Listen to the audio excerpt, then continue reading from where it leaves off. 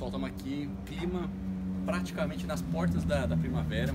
O jardim já está bombando, já está dando sinais. Já estava no, no agosto de inverno. Olha aqui, olha que beleza, ó. Florzinhas de primeira vez, florzinhas de pé de ameixa. Vamos lá. Então aqui tem bastante coisa, ó.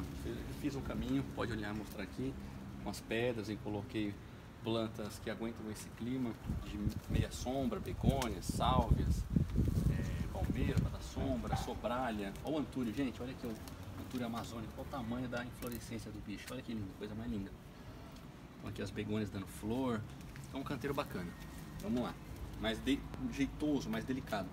E aqui um pouco mais de planta que aguenta o sol, são plantas tropicais, sálvia, tem begônia aqui novamente, ó. tem mais begônia escondida aqui, tem um monte de coisa que vai dando sinais agora.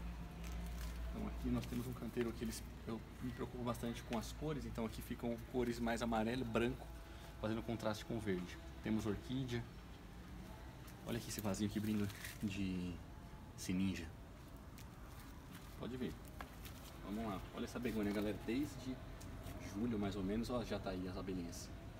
Tá dando flor que não para aqui, ó, as sementes. Os frutos. Aqui tem mais já feito. Aqui é outra begônia que agora floresce em setembro. Pode vir. Aqui tem mais salve vermelha. Aqui tem ruélia que eu gosto muito dessa planta, rosa. Fica maravilhosa. E aqui começam as begônias, as bromélias. Pessoal, olha aqui, ó. Quem acabou de vir, ó. Duas hastes florais é, dessa quêmia. Coisa mais linda. Olha aqui, ó. Olha, espetáculo. Olha essa coléria. Dá uma filmada nisso aqui. Olha que coisa espetacular, né? Essa folha. Contraste preto com vermelho. Tem mais begônia atrás. Aqui é um canteiro que está mesclando bromélias e begônias. Tem algumas coisas que vão dar flor ainda. Então aqui, ó, olha que maravilha. Uma planta exótica, né? Uma borboleteira, um azul, bem gritante. Olha aqui, gente, deu flor no inverno, gerou fruto, cacto. Cacto brasileiro, cacto azul facheiro lá do sertão, lá das terras da minha mãe de Alagoas. Aqui tem mais bromélia, pode vir. Eu coloquei esse tronco do lado de cá. Olha só, filma isso aqui, ó. Filma esse cacto aqui. Olha aqui, ó, que maravilha esse cacto. Olha só, que espetáculo. Essas, olha aqui, ó, a aloe. Que maravilha. A abelha aqui, ó, fazendo a arte dela. Então o jardim tá cheio de cor. Olha lá, ó, filma aqui. Aquela parte, olha que roxo, bonito. Então agora está com bastante contraste, olha lá aquele canteiro vermelho aqui. Olha aqui, ó, que maravilha, ó. Olha aqui. Espetáculo, né? Aqui que é a volta do calor. É, aqui a begônia está florescendo. Olha aqui, ó. Cheio de flor.